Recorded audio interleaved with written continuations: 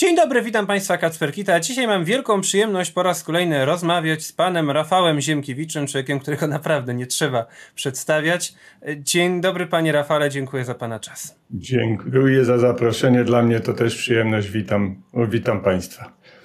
Zanim zaczniemy, dziękuję wszystkim, którzy wspieracie pracę Nowego Ładu i zachęcam do dołączenia do grona naszych patronów na www.patronite.pl nowy lat lub poprzez wpłatę na nasze konto, jak to zrobić w opisie naszego filmu. Panie Rafale, e, za niecałe trzy miesiące Polacy pójdą do urn. E, przed nami bardzo ciekawa sytuacja, ponieważ e, sondaże wskazują, że nie ma jasnej większości ani dla PiSu, ani dla obozu centrolewicowego. Pośrodku rośnie Konfederacja. Co więcej, mamy również taką rywalizację właśnie przez to ostatnio trochę o prymat na polskiej prawicy. No i w tym kontekście pojawia się pytanie, czy Polska może popaść Pana zdaniem w jakąś destabilizację, w jakąś formę e, chaotycznej walki o e, właśnie czy o, e, czy o ogólny prymat, czy o, czy o prymat na prawicy.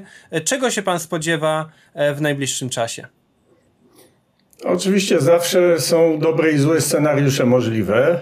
Scenariusz jakiegoś totalnego chaosu wydaje mi się jednak mało prawdopodobny w tym momencie, ponieważ rzecz poszła istotnie w sposób przez wszystkich nieoczekiwany. Sam fakt, jak, jak pan ujął to opisując sytuację, tak powiedział pan, że pojawiła się konfederacja po środku. Proszę zwrócić uwagę, że w stereotypie medialnym, który cały czas funkcjonuje, zwłaszcza w mediach lewicowo-liberalnych, Konfederacja jest jeszcze bardziej na prawo od PiSu. PiS jest prawicą, Konfederacja jest na prawo. W związku z czym, ponieważ jakby ogólne ich mniemanie było takie, że jest, są partie, jak oni nazywają demokratyczne, no czyli lewicowo-liberalne. Potem jest przepaść, potem jest PiS, który rzeczywiście no, zniszczył przed 2015 rokiem, czy pożarł wszelką prawicową konkurencję.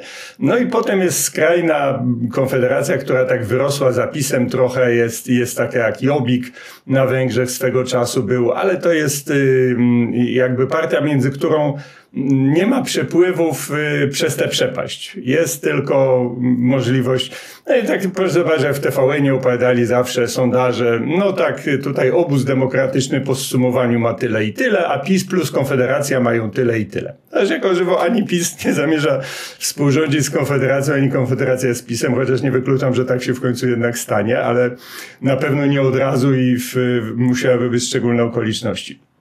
Także to, że Konfederacja ma kilkanaście procent, a była skazywana na jakąś taką niszę właśnie jak ten Jobbik, która może mieć kilka procent i to, że ma te kilkanaście procent głównie kosztem yy, obozu demokratycznego, dla żartu przyjmijmy tę, tę orwellowską nazwę, której, której lewicowo-liberalne partie używają, e, i że yy, znaczy to też jest taka os osobliwość naszej ordynacji, że w zasadzie Konfederacja ma, czerpie wyborców E, z obozu PO, ale kosztem mandaty by w tej chwili na tym poziomie zdobywała kosztem PiSu. To, to, to też jest takie trochę zabawne, wymaga bardziej zakręconych wyjaśnień. Ale w każdym razie samo w sobie jest to szokiem. Tak? Okazało się, że e, w bardzo ważnych badaniach, jakie są badania elektoratu negatywnego, czyli na kogo na pewno nie zagłosujesz, to wtedy okazuje się, że ludzi, którzy mówią, że być może zagłosują, co nie mówią, że na pewno nie zagłosują na Konfederację, jest 22%. To już jest całkiem dużo. To nie jest partyjka kilkuprocentowa. Ona ma potencjał, że szklany sufit jest na poziomie 20%. Szklany sufit Platformy jest na poziomie mniej więcej 30%. Szklany sufit PiSu jest mniej więcej na poziomie 42%, tylko w 2020 roku coś takiego się stało, że PiS stracił te 5-7% do 10% e- elektoratu. E, i dotąd go nie odzyskał. Dlaczego go stracił? E, I jak można ten elektorat pozyskać, to jest właśnie klucz do rozwiązania sytuacji. W każdym razie zrobiło się ciekawie.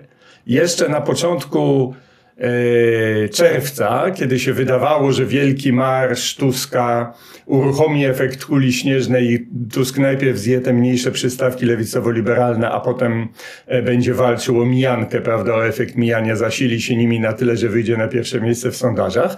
No wydawało się, że no, będzie ta sama młódzka, którą mamy już od wielu, wielu lat, czyli plemienna, tożsamościowa wojna między PiS a PO. Ona oczywiście trwa, ale okazuje się, że pojawiła się całkiem spora grupa ludzi, którzy, którzy już się z tego podziału wyłamują i to jest moim zdaniem bardzo dobra dla Polski wiadomość. Właśnie to jest, e, tak jak pan powiedział, robi się ciekawi, o tym chciałem dzisiaj porozmawiać. E, zacznijmy od, od, od punktu wyjścia, e, jak już przedstawiliśmy, taki ogólny obraz sytuacji, jakim jest fakt, że PiS rządzi od 8 lat. I, a wcześniej przez lat kilkanaście miał, miał pozycję takiego hegemona na bardzo szeroko pojętej polskiej, polskiej prawicy. I teraz dopiero wydaje się, pojawia się taka co, co, coraz, e, coraz poważniej traktowana konkurencja. Mm, jak pana zdaniem prezentuje się tak ogólnie mówiąc, pytam pana też jako człowieka, który miał ambicje, ma ambicje być takim e, głównym pisarzem polskiej prawicy, bilans tych ośmiu lat, pierwszych ośmiu lat w III Rzeczpospolitej, kiedy formacja odwołująca się do prawicy mm, rządzi Polską. No, bilans powiedziałbym jest taki w skali szkolnej, która za moich czasów obowiązywała na trójkę. Może na trzy z plusem. Pewne rzeczy się udały y, i, i przede wszystkim najważniejsze jest to, że rzeczywiście pojawiło się jakieś myślenie w kategoriach państwowych, nie tylko w kategoriach partyjnych łupów. E, to jest, to jest pewien plus, naprawdę. To znaczy, jakoś tam zaczęto pilnować tych podatków, jakoś tam zaczęto no, odblokowywać e, czy, czy dekryminalizować gospodarkę. Ta walka z, karuzel, z karuzelami VAT-owskimi rzeczywiście skuteczna jest tego e, dobrym przykładem. Zaczęto odbudowywać siły zbrojne. Różne dobre rzeczy zaczął PiS robić, czasami nieudolnie, bo niestety mm, wadą jego jest ten sanacyjny model funkcjonowania, to znaczy nie tworzy nie tworzy normalnej, demokratycznej struktury, nie tworzy partii, w której się ścierają jakiekolwiek E, poglądy, ale i talenty, prawda, która jest w stanie e, promować ludzi, czy, czy, czy relokować odpowiednio ludzki kapitał, że tak się wyjęzyczę mądrze, prawda, czyli to dokładnie e, w czym polega przewaga republiki, w czym leży przewaga republiki nad ustrojami autorytarnymi. E, jak to Dymowski pisał, e, e, dyktatura może być użyteczna przez krótki czas, ale dyktator z natury rzeczy otacza się potakiwiczami, którzy niszczą jakby wszelkie talenty i na dłuższą metę dyktatura wyjaławia. I to właśnie po PiSie, po ośmiu latach w PiSie widzimy to straszne wyjałowienie, jak tam jak, jak będzie wyglądać dekompozycja tej partii, kiedy, kiedy Jarosław Kaczyński przestanie mm, kontrolować wszystko, to można sobie wyobrazić, może trochę przypominając sobie właśnie lata 30. późne, co się wtedy w Polsce działo.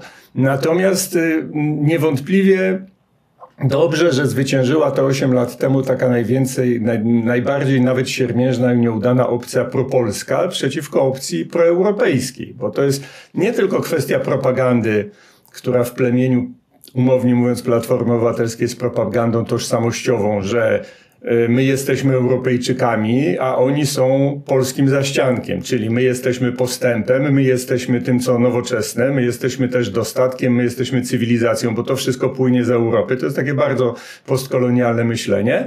No a oni są obciążeniem, hamulcem, powinni w ogóle wymrzeć jak dinozaury, bo robią nam obciach przed światem po prostu to, to, to myślenie się, to nie, nie była tylko dobrze propaganda chętnie kupowana przez elity z awansu społecznego, które mają rozmaite postkolonialne kompleksy i chciały się czuć takim pasem transmisyjnym między Europą a, a tutejszym dzi, dzikim interiorem i to im właśnie Tuska wcześniej im to Michnik Geremek, prawda, inni zapewniali, dawali im takie poczucie. Mm, to jest również no, pewien wybór polityczny, że e, jak podaję ten przykład jako taki kwintesencję rządów Tuska, że kiedy komisarz Nelly Kres wydała decyzję o takim, a nie innym potraktowaniu pomocy publicznej, która oznaczała de facto zamknięcie stoczni, kilku stoczni niemieckich, holenderskich i polskich, to Niemcy i Holendrzy zebrali prawników, wypisali do unijnych trybunałów zgodnie z prawem unijnym odwołania, zebrali argumentację i wygrali. I e, te stocznie niemieckie i holenderskie działają do dzisiaj, nie zostały zamknięte. Natomiast premier Tusk wezwał PR-owców i kazał im wymyślić jakiegoś cokolwiek, wymyślili inwestora z Kataru. W ogóle nie pojawiła się przez ułamek sekundy myśl, że jeżeli Unia kazali zamknąć stocznie, to my możemy głupie murzyny cokolwiek tutaj pyskować. Mimo, że mówię, Niemcy, Holendrzy wykorzystali po prostu procedury unijne, które są, bo to nie była nieodwołalna decyzja, że pani Nelly Kres jest Bogiem i carem, jak mówi zamknąć, to prawda, tak jak ta sama sprawa była właśnie, jak pani de la Puerta powiedziała, zamknąć elektrownię w Turowie. Tu, tu, tu widać po prostu ten taki instynkt służalstwa. Dlatego przy wszystkich swoich wadach wolę to, że, że PiS został, no i że pewnie raczej zostanie na trzecią kadencję. Bardzo bym się obawiał z kolei teraz właśnie rządów ludzi, dla których po prostu każdy przechodzące z zewnątrz dyrektywy są dyrektywami niepodważalnymi. Mówił pan, że PiS e, raczej zostanie na trzecią kadencję. No właśnie to jest, to, jest, to jest ciekawe, co się teraz wydarzy, ponieważ właśnie wyszła e, konfederacja, która zbiera elektora, tak jak pan powiedział słusznie na początku, nie tylko na zasadzie tak jak trochę było właśnie postrzegane na początku tych wyborców zawiedzionych e, pisowskich, tylko coraz tak naprawdę w ostatnich, w ostatnich miesiącach bardziej po tej stronie centrolewicowej. Jak pan na tym etapie ocenia skuteczność E, tego projektu. Dlaczego Pana zdaniem Konfederacja e, zbiera e, coraz no, rosnące poparcie, chociaż właśnie przecież cały czas, cały czas jest Grzegorz Braun, cały czas jest Janusz Korwin-Mikke, te mhm. ataki czy na, czy na Mencyna, czy na Bosaka za różne, no właśnie bardzo wyraziście prawicowe wypowiedzi cały czas są ponawiane, a jednak, ca, a, a jednak póki co ten projekt, ten projekt trwa. Pytam też w kontekście tego, że był podobny kiedyś projekt do pewnego stopnia Pawła Kukiza, w który pan też się włączał. E, z perspektywy czasu ten projekt pewnie się nie, no, nie, nie udał. E, czy pan tutaj widzisz szansę zagrożenia również e, porównując Konfederację do tamtego projektu? Projekt Kukiza się nie udał, ale mógł się udać. Uważam, że to był projekt, który mógł wcześniej już rozszczelnić trochę ten system, tylko Paweł Kukiz po prostu no, nie dorósł do, do, do, do takiego wyzwania. Z różnych powodów okazał się człowiekiem chimerycznym, zmieniającym zdanie, niekonsekwentnym.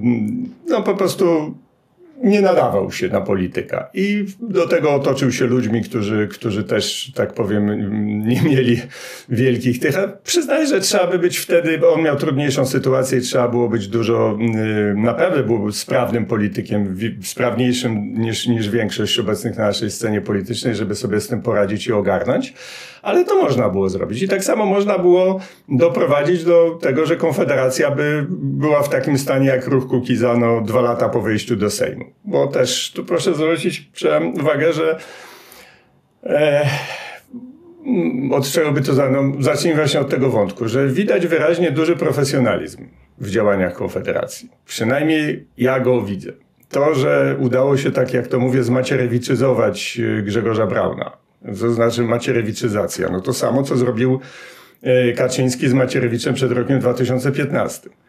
To jest bardzo analogiczna sytuacja. Mamy w swoich szeregach radykała, który ma swój kościółek radykałów, którzy są bardzo mu oddani i są szalenie potrzebni formacji, ponieważ no, ktoś musi pracować przy kampanii, ktoś musi mm, działać, prawda? Oni są aktywni, chcą ale są na tyle radykalnie, że odstraszają tak zwanych, no nazwijmy to normalsów. Skąd czerpie Konfederacja tych normalsów? To za chwilę, bo moim zdaniem to kluczowa sprawa.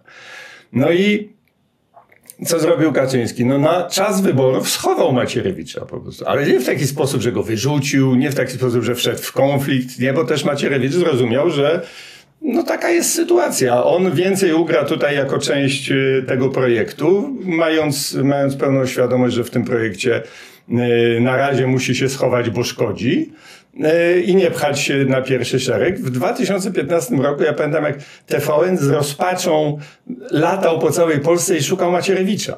I go w końcu znalazł gdzieś w Chicago, w, w jakiejś parafii polskiej, że, on tam w Chicago posłali kamerę e, w podziemiach tego kościoła, żeby pokazać, jest Macierewicz, pamiętajcie, że PiS to jest Macierewicz. Ale nie, bo w 2015 PiS to był Andrzej Duda i PiS to była Beata Szydło. I teraz też Konfederacja to nie jest Brown, to nie jest Korwin, który już w ogóle jakby elektorat Konfederacji się go przyzwyczaił traktować jako takiego szalonego dziadka, który wszyscy go bardzo poważamy, ale nie słuchamy co on gada, bo wiadomo, że coś trochę od rzeczy już ma, prawda?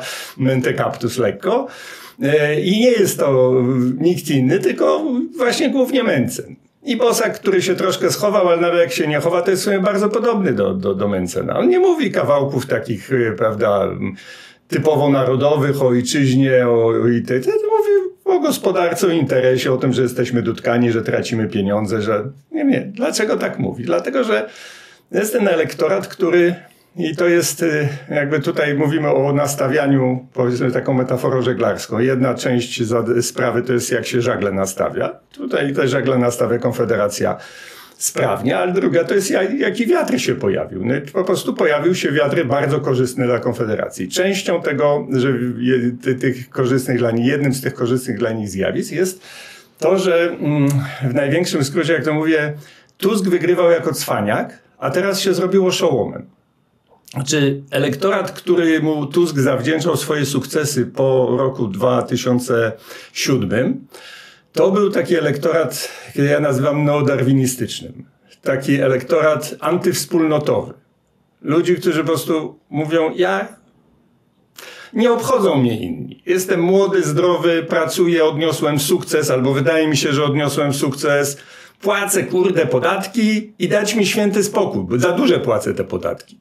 To są ludzie, którzy się gotują, jak słyszą y, o tym, że oni mają należeć do jakiejś wspólnoty, mają ponosić jakieś wielkie ciężary, obciążenia na rzecz innych, na przykład dlatego, że to są ich rodacy. Dlatego ten elektorat był zawsze po stronie lewicowo-liberalnej, bo, bo prawica ich odstraszała biało-czerwonymi flagami, tym całym romantycznym swoim anturażem, prawda, tymi mszami narodowymi różnymi. Oni tego nie chcą. Oni chcą, oni są nowocześni, pragmatyczni.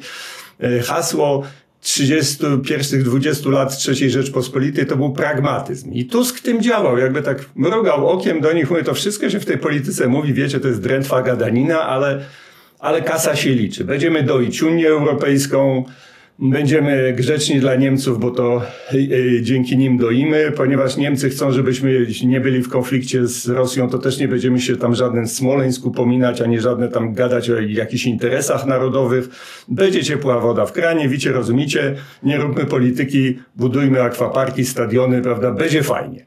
No to był ten Tusk, który wygrywał. I teraz ten Tusk lata, E, obiecuje, że mieszkanie prawem, nie towarem, co wkurza takiego antywspólnotowca. To cholera, ja mam płacić za jakieś mieszkanie jakiegoś gówniarza, który będzie pracować nie chce? Bo, generalnie powiedzmy lewica przestała reprezentować ludzi pracy, tylko za, zaczęła reprezentować jakąś ciekawą klasę próżniaczą młodych ludzi, którym się nie chce robić, wolą działać niż pracować, prawda? A jednocześnie na krytyce politycznej ogłaszają całe manifesty, że im się należy, prawda? I Tusk idzie i mówi, tak, wam się należy, każdemu się wszystko należy, babciom się należy babcinę, tego się to już jest wkurzające i irytujące. A jak jeszcze ten Tusk się owija w biało-czerwone flagi, przecież ten marsz 4, 4 czerwca, nie, chyba wszyscy zwrócili uwagę, że wygląda jakby się przebrali za kluby Gazety Polskiej. Ani jednej błękitnej flagi z gwiazdkami, ani jednej tęczowej flagi. Wszystko biało-czerwone, kobiety z takimi biało-czerwonymi wiankami, prawda? No może powiedzmy, że niektórym się to z kibicami mogło kojarzyć, ale ale jakiś zupełnie inny. I on cały czas ględzi coś o praworządności, o jakichś takich tych. Nie, po prostu rozczarował ten elektorat darwinistyczny. A co wychodzi Mencen i mówi? Piwko. Ludzie. Jakby nie będziemy holować jakichś nieudaczników. Podatki są za duże, prawda? Służba zdrowia jest guzik warta, to dlaczego macie płacić za coś, co jest i tak jak chcecie iść do lekarza, to musicie iść do prywatnego, bo to jest tak dalej. To jest część właśnie, to, to jest ten wiatr, który, który mm, chwycił który chwyciła Konfederacja, a który, mm, y, a który mogła chwycić, bo Tusk popełnił po prostu gigantyczny błąd. On uwierzył, stracił trochę węch y, już y, widocznie i uwierzył, że rzeczywiście świat kreowany przez Gazetę Wyborczą i inne lewicowo-liberalne media jest światem prawdziwym, to znaczy, że y, hasło nienawiści do PiSu sprawi, że on może w obrębie tej swojej bańki robić wszelkie wolty, prawda, jednego dnia opowiadać, jak to mama na krzyż na chlebie kreśliła i on też zdaje się na każdym bochenku krzyż święty kreśli, a drugi kreśli, a drugiego dnia opowiadać, że nie wpuści na listy nikogo, y, kto nie jest za aborcją na życzenie, że może wszystko, bo nikt nie przejdzie przez tę przepaść, która oddziela PiS od anty antypisu. No właśnie nie wziął pod uwagę, że duża część antypisu to nie jest elektorat ideowy, któremu bardzo zależy, tylko który tego PiSu z pewnych konkretnych powodów y, nie akceptował, natomiast Mencena jest w stanie zaakceptować, kiedy się rozczarował Tuskiem. To jest bardzo ciekawe, ponieważ y, tutaj pan, pan tam stawiał kiedyś taką tezę, że Viktor Orban nie jest, nie jest węgierskim Kaczyńskim, tylko węgierskim Tuskiem. Tutaj wychodzi, że Mencen jest takim młodszym, bardziej konserwatywnym Tuskiem. E, I to jest ciekawe, ponieważ z jednej strony to jest przeciąganie, od, odciąganie od tej strony lewicowo-liberalnej e, ludzi. To jest oczywiście z naszej perspektywy pozytywne. E, z drugiej strony jest to zagrożenie, że jeżeli przyciągasz te takich ludzi, to stajesz się trochę ich zakładnikiem i e, ostatecznie oni nie będą chcieli, no pytanie, e, oni nie, nie będą chcieli tych właśnie tych flag narodowych, nie będą chcieli wspólnoty. Na ile, na ile tutaj, jak pana zdaniem e, po, powinno to być e, zarządzane. Jak, e, na, na, ile Pana zdaniem Konfederacja, jako właśnie też Pan o tym mówił, projekt, którego twarzą jest zdecydowanie taki program stricte gospodarczy, i unikający e, innych zagadnień e, jest w stanie czy przetrwać długofalowo, czy z drugiej strony stopniowo wprowadzać jakieś, e, jakieś inne, in, inne zagadnienia, formować tych wyborców. Jak pan, e, jak pan widzi tę pewną, pewną taką sprzeczność?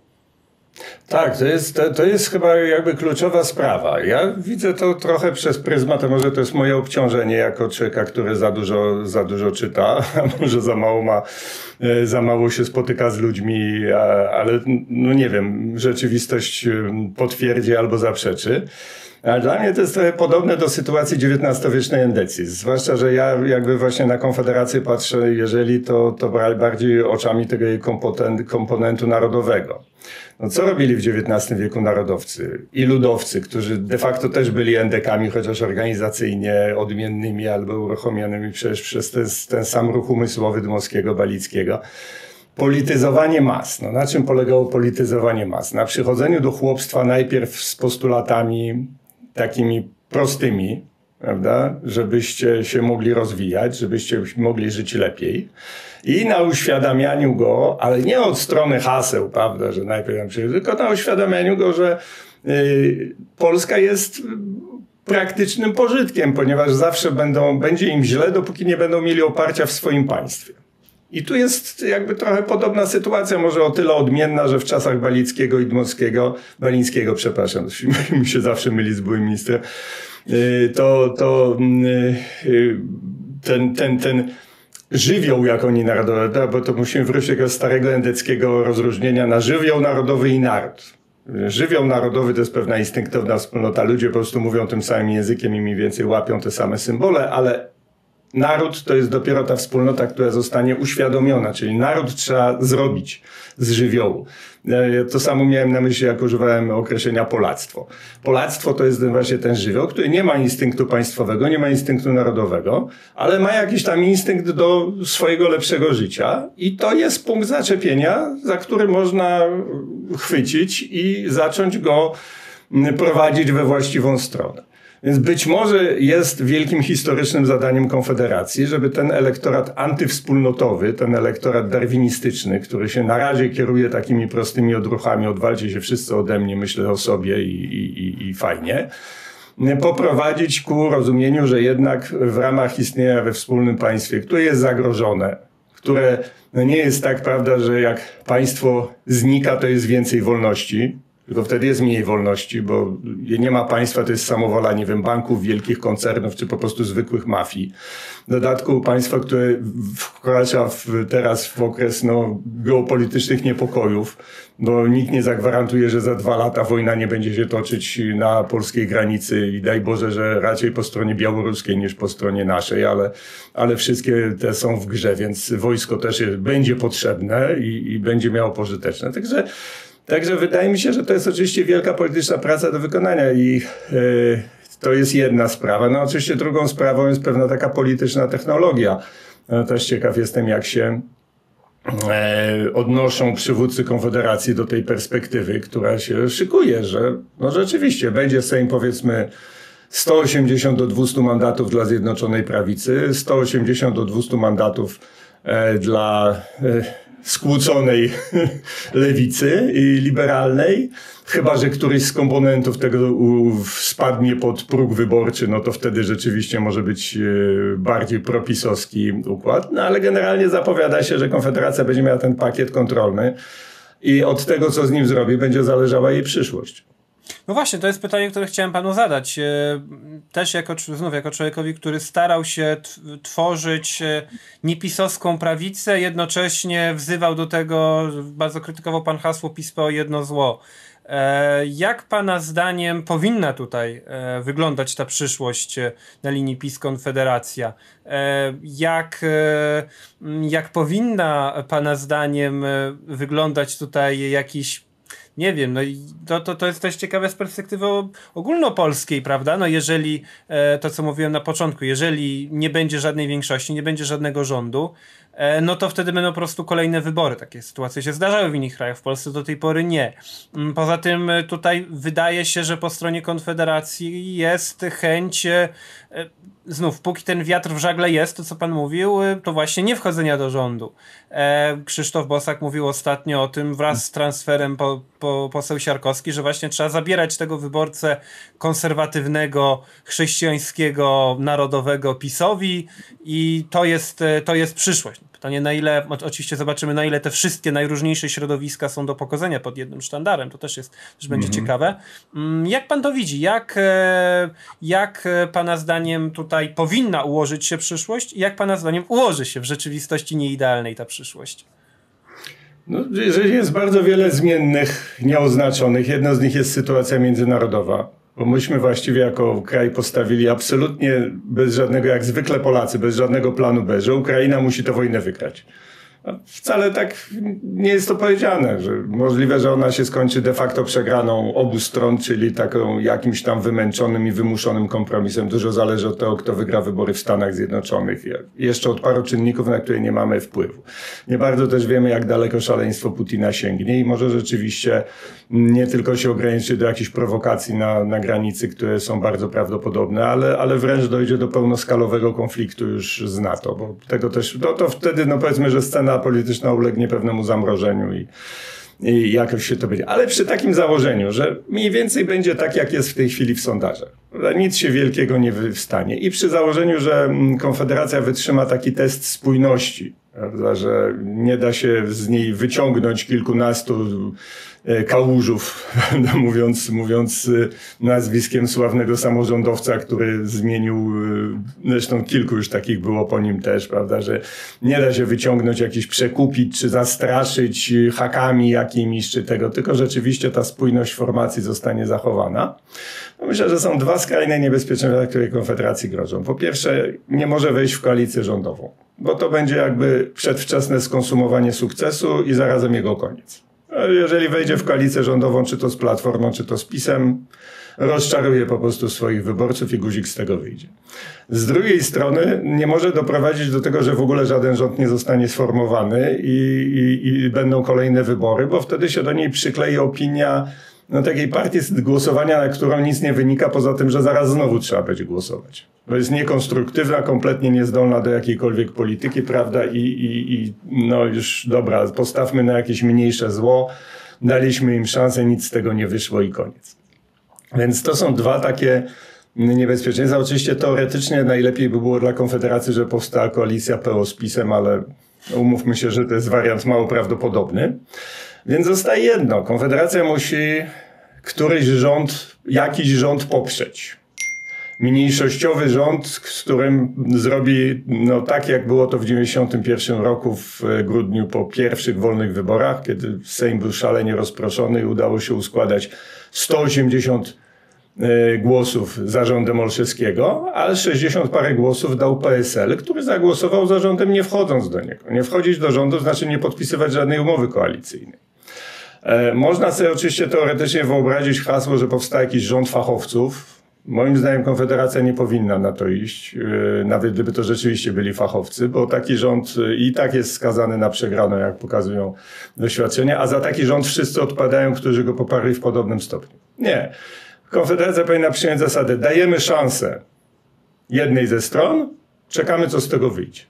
Danie szansy stronie pisowskiej niewiele jej da, PiS zresztą nie będzie chciał moim zdaniem wchodzić w taki układ, bo jest tak czy owak ma prezydenta. Jeżeli nie popełnił błędów z 2019 roku, to będzie miał również Senat. Nawet jeżeli ten pakt senacki się nie wykrzaczy, na co się zapowiada, prawda? W związku z tym, poza tym PiS już 8 lat rządził, w związku z czym no, ma, ma jakby pewne podstawowe sprawy pozałatwiane. Jedynym, czego się może bać, to są czystki w spółkach Skarbu Państwa, tam jakieś, e, prawda, przejmowanie, ale takich naprawdę ważnych politycznych stanowisk mniejszościowy rząd działający przeciwko prezydentowi i przeciwko Trybunałowi Konstytucyjnemu, które oba są jakby po przeciwnej stronie, niewiele będzie mógł PiSowi zrobić. Natomiast ciśnienie na powstanie rządów Platformy, rządu odsunięcie PiS od władzy jest tak ogromne, że myślę, że Platforma będzie musiała jakiś mniejszościowy rząd y, sformułować. Na miejscu Konfederacji bym ten rząd właśnie dokładnie tak samo jak Waldemar Pawlak w 95 roku, y, w 91 roku rząd Olszewskiego bym go poparł i za, a potem głosował przeciwko jego rozmaitym przedłożeniom, ponieważ będą niezgodne z programem i ideą Konfederacji a, a PiS będzie wtedy chętnie dostarczał większość do takich głosowań. Czyli coś w rodzaju rząd impotencji narodowej. No, no nie narodowej, może tylko postępowej, lewicowo-liberalnej. E, w pół roku, przypomnę, po tym jak Waldemar Pawlak wykonał ten, ten manewr i zdjął z siebie odium e, postkomunisty, sam został premierem. Co prawda na 30 dni, ale tak się zaczęła wielka kariera PSL-u, który przypomnę w szczytach swej, w szczycie swojej popularności, no sławne było to powiedzonko Pawlaka, który jak spytano, a kto wygra wybory, mówił z uśmiechem nasz koalicjant. E, I to, i, i, i to jest, wydaje mi się mm, podobna, po, podobna droga przed Konfederacją. To znaczy musi ona, że tak powiem, zdjąć z siebie odium faszyzmu i oszołomstwa. No bo jak poprze rząd Olszewskiego, to jest żadny ten, ten, przepraszam, rząd Trzaskowskiego podejrzewam. Tusk jest zacwany, żeby się w to dało wrobić.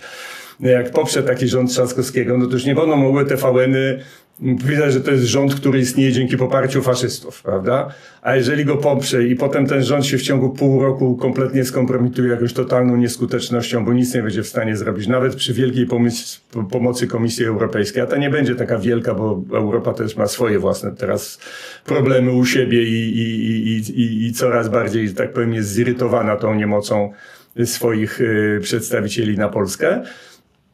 E, także e, do, doprowadzi to oczywiście niewątpliwie do nowych wyborów. Myślę, że takim celem, który sobie powinna Konfederacja postawić na ten moment, to nie jest jeszcze władza, tylko jest to zdobycie zdobycie pozycji dominującej na opozycji. To znaczy Platforma po, po, po, po, po takiej historii naprawdę zacznie podzieli, podzieli los dawnego SLD.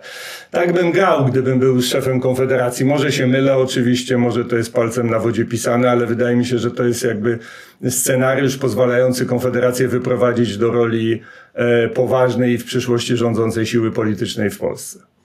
Czyli najpierw poparcie rządu Platformy, a potem sabotowanie jego pracy.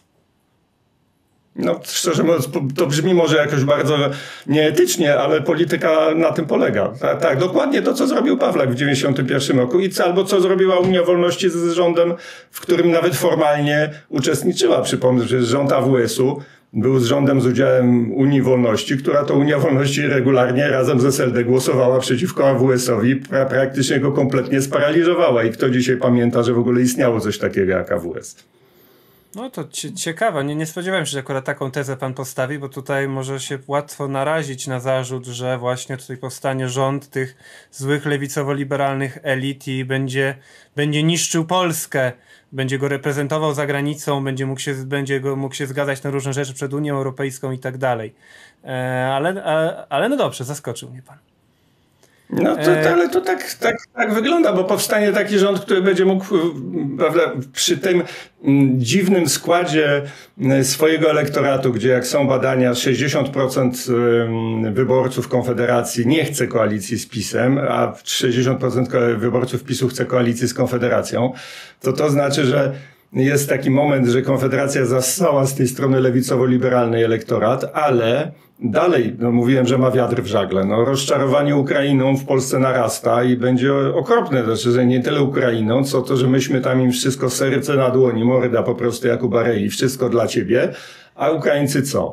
nawet jakiegoś marnego przeproszeń, już nie nawet za Wołyń, ale nawet za rakietę, którą nam przypakowali w jakąś stodołę. Wszyscy wiedzą, że niechcący, ale przynajmniej wypadałoby powiedzieć ups, nie? A oni się upierają, że to nie oni, prawda, że to UFO przyleciało i tak dalej. I prostu Znowu jest to temat, który obstawiła Konfederacja. No i jest to tak, jak wspomniałem, jeszcze ten kluczowy moment, dlaczego PiSowi tąpnęło w 2020 roku. Otóż z jakiegoś powodu media, które są głównie lewicowo-liberalne, stworzyły stereotyp, że tąpnęło dlatego, że było to orzeczenie Trybunału Konstytucyjnego w sprawie aborcji, no i kobiety, prawda, się rozczarowały. Tylko żadne badanie tego nie potwierdza. Zresztą gdyby tak było, to, to te kobiety by już dawno przeszły do, do, do obozu, który szermuje pojęcie praw kobiet, a zwłaszcza prawa do aborcji. Więc to znaczy, że nie o aborcję poszło, tylko była inna przyczyna. Moim zdaniem tą przyczyną była polityka covidowa.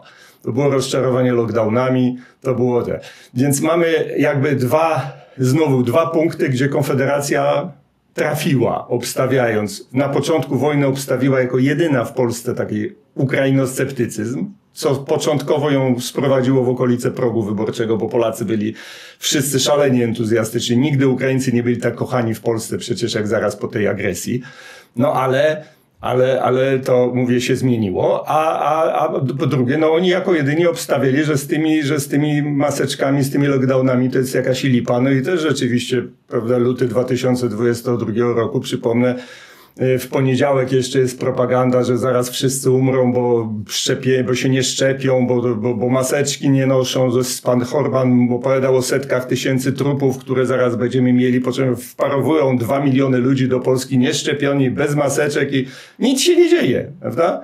No to już było dowodem, że cała ta polityka, której twarzą był pan Niedzielski, którą PiS firmował, była o kant potłuc. I znowu jedyna Konfederacja to mówiła, więc sądzę, że teraz jeszcze ona sporo zaczerpnie też takich rozczarowanych wyborców y, PiSu. I mając taki elektorat po części pisowski, po części antypisowski, nie ma moim zdaniem innego manewru niż właśnie stopniowo oswoić go z myślą, słuchajcie, daliśmy szansę, tak? Daliśmy szansę, naprawdę. Mogli rządzić nie umieją. Sorry, robimy nowe wybory yy, i, i zobaczymy, co wtedy. Ciekawe, ciekawe, ciekawe pan to przedstawia. E, mówi pan o tym covid jeszcze o to bym zapytał, bo to jest, to jest też tak socjologicznie ciekawe, że e, jednak w okolicach 2015 roku, jak, jak, jak Platforma traciła władzę, to było takie poczucie pewnej jednak wspólnoty aksjologicznej między wyborcami PiSu, wyborcami Kukiza, wyborcami e, narodowymi, korwinowymi i tak dalej. E, jednak wtedy e, zwolennicy kandydatów e, tej mniejszej prawicy poparli dość, dość gremialnie Andrzeja Dudę w drugiej turze, a dzisiaj coraz, coraz głębsze są te takie podziały właśnie między wyborcami również PiSu i, i Konfederacji, których nie było, czy 2000, aż tak głębokich, czy w 2015 czy w 2005 roku, jak, jak LPR wchodził w koalicję z PiSem. E, pan jest pewnie jedną z tych osób, która, która jest szanowana powiedzmy po obu stronach tego podziału i stąd też, stąd też pana pytam, jak to, jak to się pana zdaniem rozwinie? Czy rzeczywiście mm, pana zdaniem mamy już takie e, jasne plemię pisowskie i plemię konfederackie? E, czy jednak dalej istnieje jakaś, e, jakaś wspólnota i na ile te plemiona jeszcze mogą od siebie wzajemnie czerpać? Tutaj no, Konfederacja na pewno będzie chciała czerpać z tego plemienia, przynajmniej ta i narodowa część będzie chciała czerpać z tego plemienia pisowskiego. Z drugiej strony PiS też oczywiście chętnie by chciał Konfederację zdezintegrować. Czyli ja nie jestem zwolennikiem hasła PiS o jedno zło, bo uważam, że każda z tych stron swoje zło inne i one nie są jedno, jedne, jednakowo złe dla Polski, ale na pewno są takie punkty całkowicie zbieżne y, i na pewno zbieżnym interesem i Platformy i PiSu jest grzanie tej polaryzacji plemiennej na tych Polaków, jak to nazywam, Polaków kreoli i Polaków tubylców. No i w związku z tym no, Konfederacja tutaj, tak powiem, psuje cały interes, bo się wymyka z tego podziału, bo zaczerpnęła dużo kreoli, prawda, ale też czerpie też trochę i tubylców i zaraz ich też może zaczerpnąć. No ona nie ma jakiejś swojej tożsamości, która byłaby tak silną tożsamością, jak to ma tożsamość pisowska i antypisowska, ale mm, ten, ten, myślę, że jeżeli się utrzyma przez jakiś czas i, i wykaże pewną skutecznością, elektorat będzie z niej zadowolony, to sobie tę tożsamość wytworzy, ale mam nadzieję, że ona już nie będzie tak bardzo plemienna, no bo Konfederacja nie ma tak silnych znaków emocjonalnych, prawda? PiS swoją tożsamość zbudował na Smoleńsku. Zamordowali nam prezydenta. Zanim był Smoleńsk, to on też budował na takim romantycznym patriotyzmie, który ma swoich zwolenników w Polsce. Jest to oczywiście szklany sufit, to jest powiedzmy do 30% ludzi, którzy o żołnierzach wyklętych myślą ze wzruszeniem.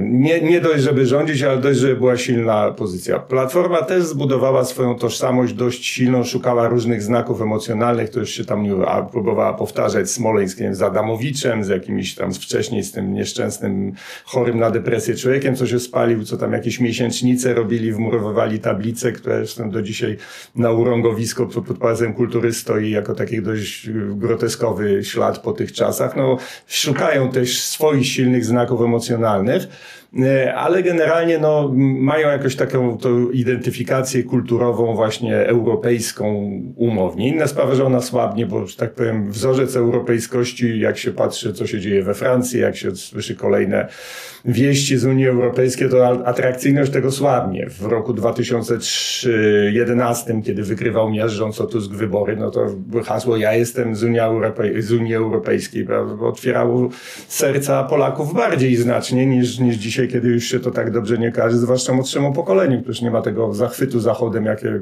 zawsze będzie tkwiło jakby w pamięci mojego pokolenia że, że tu dzicz, syf, prawda, komuna i tak dalej, a zachód to po prostu raj. No. Więc młodzi ludzie już tak na to nie patrzą. W każdym razie te, te, dwie, te, te, te dwie plemienne tożsamości są dość silne. Konfederacja nie ma na czym zbudować i chyba nie powinna budować takiej, takiej silnej tożsamości. Powinna budować właśnie wspólnotę interesów, powinna to budować troszkę takim typem starej endecji, mówię tej endecji Dmowskiego oczywiście, a nie frondach narodowo-radykalnych z lat 30., które się przedstawia jako, jako rzekomo to najważniejsze endeckie dziedzictwo, to, to tak naprawdę była choroba takich czasów po prostu, w których to się działo.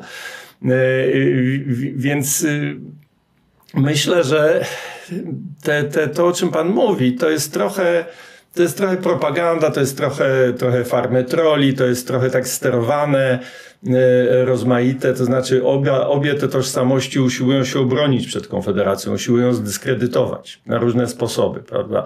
Ale, ale wyraźnie, no jak materiałów w wiadomościach oglądałem ostatnio, nie wiem, dwa dni temu, o, o, chodziło o przejście posłanki Siarkowskiej do, do Konfederacji, ale to, co tam nabudowali, no to to jak, jak w TVN-ie, prawda, żeby, żeby te, to są pewne, pewne sposoby uderzania wypracowane w Konfederację i z jednej i z drugiej strony, one te, o, oba, są, oba są nieskuteczne, prawda, ale oba w jakiś sposób umacniają Konfederację. Ja przypominam, że jak mówimy o wyborach, jak ten, to, to, to, to, to się liczy w milionach.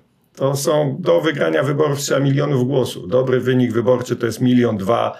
E, prawda, w wyborach prezydenckich brało udział 20 ponad milionów ludzi. No, jeżeli frekwencja jest nieco mniejsza w wyborach e, parlamentarnych, to też mamy 16-18 milionów ludzi, więc tu trzeba pozyskiwać, tu są miliony, a miliony myślą w, no, w inny sposób niż, niż ludzie, którzy szaleją po Twitterach, prawda, czy innych mediach społecznościowych i tam wypisują właśnie te z, z pozycji pisowskich antykonfederackie, czy z pozycji konfederackich antypisowskie e, rozmaite, prawda, epistoły.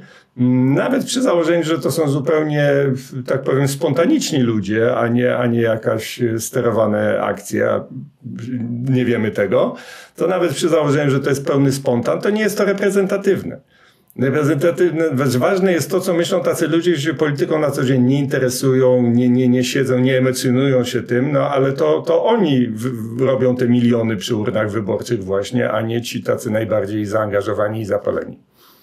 Już na sam koniec, a jednak pan y, mówił o tym, że uważa pan za prawdopodobną, jak rozumiem, a przynajmniej bardziej prawdopodobną trzecią kadencję PiSu. Tak, do pewnego momentu mi się to wydawało, że to jest bardziej prawdopodobne i to cały czas jest niewykluczone. To znaczy, mm, coś się popsuło Tuskowi w jego planach, y, nie tylko w tej kwestii, że zlekceważył możliwość ucieczki większej liczby wyborców do Konfederacji, czyli jakby po prostu nie zdawał sobie sprawy z tego, co wynika z zachłyśnięcia się gazetą wyborczą po raz kolejny. Ona tutaj odgrywa fantastyczną rolę, umożliwiając zwycięstwo prawicy. E, że jakby zachłysnął się taką wizją własnego elektoratu szalenie wyidealizowaną. Tamto plemię uwielbia, żyje w takim wyższościowym urojeniu, mówiąc językiem psychologii, i uwielbia myśleć o sobie jako ludziach lepszych. No nie zniosłoby myśli, że tak naprawdę zawdzięczamy władzę tym ludziom, którym naprawdę zawdzięczał Tusk władzę w 2007 do, do 13, do 14 roku, prawda? Bo przecież e, jakby samego znowu plemienia michnikowego, e, nawet zasilonego postkomunistami, nie wystarczało do władzy. Unia Demokratyczna, Unia Wolności nigdy nie była partią po jakimś poważnym tym. Dopiero doklejenie do niej tej dużej grupy tego elektoratu od ciepłej wody w kranie, czyli tego właśnie antywspólnotowego, darwinowskiego, o którym mówiłem, zdało jej szansę rządzenia, ale oni tego nie przyjęli do wiadomości. Idealizowali swój, że to właśnie demokratyczny elektorat, wartości europejskie. Jak te wartości nie Europa mają tak samo, prawda, wywalone mają jak i na Polskę. I to zgłosowali zupełnie na co innego. No ale to już o tym mówiłem. Natomiast drugi błąd, który Tusk popełnił, to znaczy chyba jednak też przecenił siłę swoich mediów i zdolność zmiażdżenia Hołowni, i Czarzastego, bo plan moim zdaniem absolutnie jasny i czytelny był taki, że po wielkim marszu, właściwie to już to liczył, że wcześniej to zrobił, ale wydawało się, że tym pierwszym marsz, tym wielkim marszu mu się wreszcie uda. Spychamy trzecią drogę pod próg. Y, PSL widząc, że koalicja, że nie ma szansy przejścia 8% w związku z Hołownią, pęka po prostu i wraca na listy Tuska, co im niedwuznacznie mówiono, że tam cały czas on czeka i ma dla nich miejsca otwarte, tylko bez tego tam mało lata. E, Hołownia pozbawiony sojusznika po prostu w ogóle znika, prawda, przestaje się liczyć i jest po nim. I w tym momencie zostaje sama lewica, która postawiona przed mocą e, Platformy, która już dzięki zjedzeniu Hołowni i PSL-u przeskakuje to kilka procent w sondażach PiS i zaczyna się potworna propaganda, że kto głosuje na lewicę zmarnuje głos, że lewica idąc do wyborów, prawda, działa na rzecz PiSu i że PiS y, w ogóle pewnie jest już dogadana z PiSem na, na, na, na wspólne rządy i tak dalej. No i po prostu wtedy lewica też pęka i zostaje sam Tusk na, placu. Taki był jego plan. Ja uważałem, że ten plan się częściowo da zrobić, to znaczy częściowo właśnie w tej części, że rzeczywiście pęknie PSL i, pęk, i, i lewica myślę, że nie pękłaby, jednak by startowała, ale ale, ale tylko, że z kolei tak jak w Budapeszcie to było i tak było w eurowyborach, ta jedna lista Tuska rozbiłaby się o szklany sufit Tuska. Bo to jakby co innego idea, znaczy nawet jedna lista jakoś tam z pozoru równorzędna, jak pokazało to na Węgrzech, obcina z kraje. A tutaj by się te. Ty, dlatego mówiłem, że ta mm, trzecia kadencja PiSu jest prawdopodobna i ona jest nadal możliwa, bo jak widać w tej chwili zatrzymał się ten efekt wielkiego marszu. Stąd pomysły Tuska, żeby już następne, jeszcze większe marsze robić. To nie jest takie prosto. Milion ludzi se, prawda, na ulicę. No nie, chyba, że się jest papieżem, no ale, ja, ale to też nie każdy by potrafił. No ale ten efekt się zatrzymał. Widzimy, że w lipcu już nie ma dalszego spadku notowań Hołowni nie ma dalszego spadku notowań Lewicy, więc one prawdopodobnie wystartują same. I wtedy rzeczywiście na ostatniej prostej może jakaś część wyborców jednak zadziałać na nich ten argument, że stracę głos, prawda, zmarnuję głos, tego się zawsze Polacy bardzo boją, to już wielokrotnie było ćwiczone i wtedy któraś z tych programacji wpadnie pod próg i będziemy mieli taką sytuację jak w 2015 roku. PiS może dostać 30 parę procent, ale DONT tak zadziała, prawda, że, że, że, że jednak tę większość samodzielną będzie miała. Razem z Konfederacją to nawet większość konstytucyjną. To też byłby ciekawy wariant. E, I myślę, że salony lewicowo-liberalne już zupełnie było szalały, bo to jest dla nich coś po prostu horrendum, którego sobie nawet w tej chwili nie wyobrażają. Ale to, to, jest, to jest możliwe, ale to nie jest, ale to nie jest za bardzo prawdopodobne. E, natomiast no, wydaje mi się, że jednak też w kampanii wyborczej PiS popełnił, popełnia e, kilka błędów, bo tkwi w takich kolejnach, niby tam szefa sztabu wymieniono, ale sama retoryka jest dokładnie ta sama.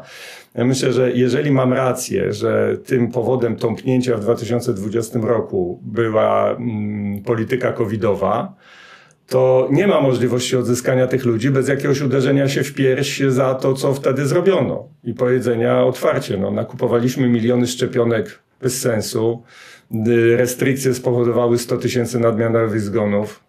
No, nikt wtedy jakby nie postępował dobrze. Pamiętacie, jakie były czasy, jakie były ciśnienia, prawda, jakie było ten. No ale skrzaniliśmy trochę, sorry. No i uderzyć się w piersi, zobaczyć. Jeżeli może się PiS wycofywać z Nowego Ładu, kolejno teraz z kolei już z tych ograniczeń w używaniu gotówki się wycofał i w ogóle się okazuje, że Nowy Ład był wielkim sukcesem, ale wycofanie się z niego jest jeszcze większym sukcesem po kolei, e, to można by przy pewnej zręczności taki manewr zrobić. Problem polega na tym, że jak rozmawiam z ludźmi, którzy tam bardziej uczestniczą, mają związki jakieś z PiSem, no to mówią, że jak się mówi obecnej władzy o o, o, o tych yy, polityce covidowej, to ona ze zdumieniem, przecież to był wielki sukces.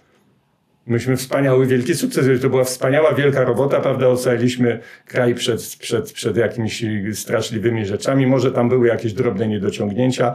No nie, myślę, że to na nich y, ciąży. Ciążą te wybory kopertowe, ciążą różne rzeczy i ten elektorat, który odszedł do poczekalni w 2020 roku, czeka na jakieś choćby symboliczne załatwienie tej sprawy, albo gotów pójść na przykład do Mencena. Prawda? Bardzo dziękuję. Moim i Państwa gościem był Pan Rafał Ziemkiewicz. Bardzo dziękuję, pan, że znalazł Pan dla nas czas. Ja dziękuję. Wielka przyjemność dla mnie. Wszystkiego dobrego życzę. Będziemy się na pewno wracać do pana Rafała, bo sytuacja robi się, ciekawa, robi się ciekawa i myślę, że będzie się nad czym zastanawiać. Na dziś to wszystko. Kasper Kita, do usłyszenia.